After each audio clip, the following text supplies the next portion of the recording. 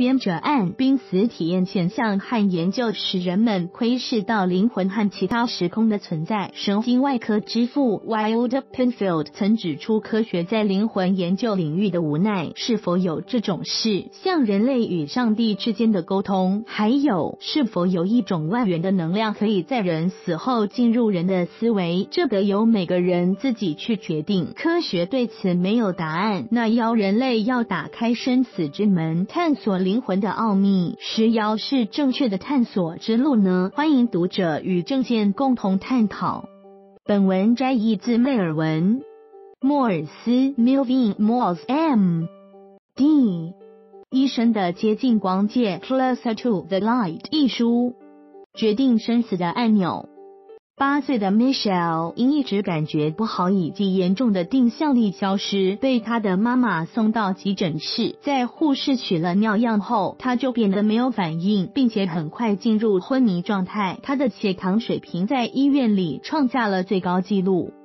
他深昏迷了好几天，苏醒后，他讲述了在昏迷时他离开了自己的身体，并且需要以按按钮的方式来选择他的命运。在他恢复了的几个星期之后，我在儿童医院的办公室里询问过他，他不想谈他的昏迷经历。当我问起他在医院时是否有特别的事值得记忆，他耸了耸肩膀，害羞的避开了话题。直到我给他纸和笔来描绘所发生的事时，他才开始放松，并且谈到他记忆中的死亡门槛。他说，当他失去知觉时，感到非常的恶心和头晕目眩。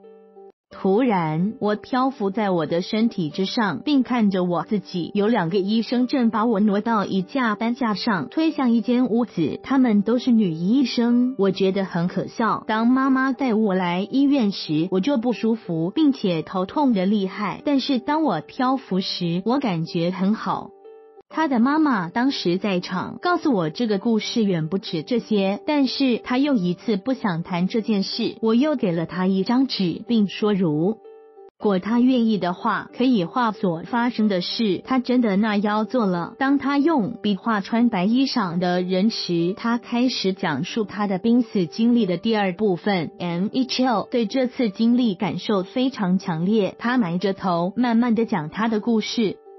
我躺在某个地方，在我后边有一群穿着白衣裳的人，他们都在与我讲话。在我前面有两个按钮，一个红的，一个绿的。穿白衣裳的人不停的告诉我按红色的按钮，但是我知道我必须按绿色的按钮。如果我按了红色的按钮，就回不来了。我按了绿色的按钮，我就从昏迷中苏醒过来了。我并不知道为时要红色的按钮是坏的，但它就是因为。我还活着在这儿。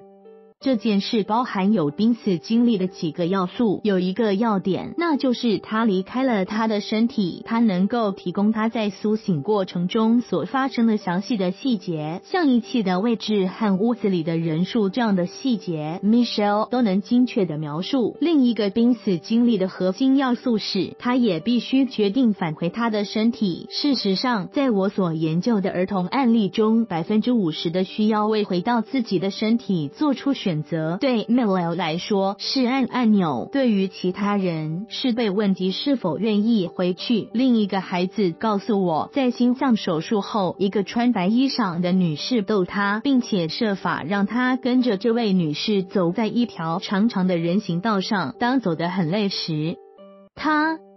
决定回来，在所有的事例中都存在一个事实：神志清醒的决定回来。在成人案例中，仅约百分之二十的病人做出这样清醒的决定。Michelle 看见穿着白衣裳的生命是另一个核心要素，他把他们描述为医生，而不是光样生命。当我问他为什么认为他们是医生时，他回答说：“他们很大，着白衣裳，我很害怕他们。”尽管他的解释不同，但是具有所有的濒死经历的要素。在天堂里可以跳得很高。马特的故事是众多吸引人的濒死经历之一，这是由于他的独特的年龄特征决定的。当时他才九个月，当然这个经历是到他三岁时才告诉他父母的。他的有。观回忆之所以吸引人，有两个原因：一是绝大多数人在他这个年龄不可能形成明确的记忆；二是马克的父母不断的告诉他所经历的心动停止。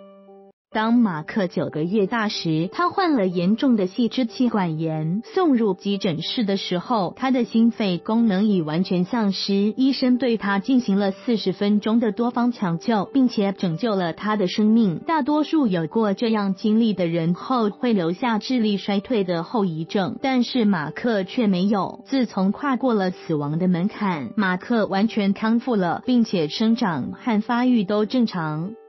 马克第一次向人提到他的濒死经历是他三岁那年，当时在一次圣诞节表演后，他说在两年前的那次濒死经历中见到的神，并不像剧中的那个演员。我看见了医生和护士对我的急救，然后我飞出了这间房子，进入等待室，在那里我又见到祖父祖母拥抱着哭泣，我想他们认为我会死。随后，马克又谈到他看到一条永长黑暗的通道，如果没人帮助的话，在内爬行是很困难的。他不能说是谁在帮他，在镜头透着的一丝光亮鼓励着他向上爬。在通道的另一头，他进入一个充满光明的地方，那里天使在原野奔跑。当他谈到这些，仿佛这一切就生动的在眼前。在天堂里可以跳得很高。附带提及，其他病人也向我做过同样这种描述，而且可以全无阻碍的飞跑。一个天使过来问马克是否想回家，他说不，但是天使告诉马克，他必须回去，将来他还会回来的。马克直到五岁，马克的医生从他身上取下治疗气管软化的导管之前，都能生动的回忆这段经历。这以后记忆才渐渐消失。我认为取出气管导管可能给他以暗示，他不再处于死亡的阴影中，所以记忆消失。现在的马克是一个幻想着有一天成为临床医生或运动教练的健康少年。开始，人们都怀疑马克的故事。正如一个同僚说：“九个月的孩子爬上天堂，难以想象。”迄今为止，关于九个月的婴儿是否能记住他的濒死经历的回答是肯定的。最近的研究显示，人产生学习和记忆能力的年龄比我们想象的早很多。一个研究报告显示，出生七个月的孩子在观看了怎样组装玩具的录像带后，能够产生学习记忆并组装同样的玩具。作为对比组，没有观看录像带的孩子则没有这种能力。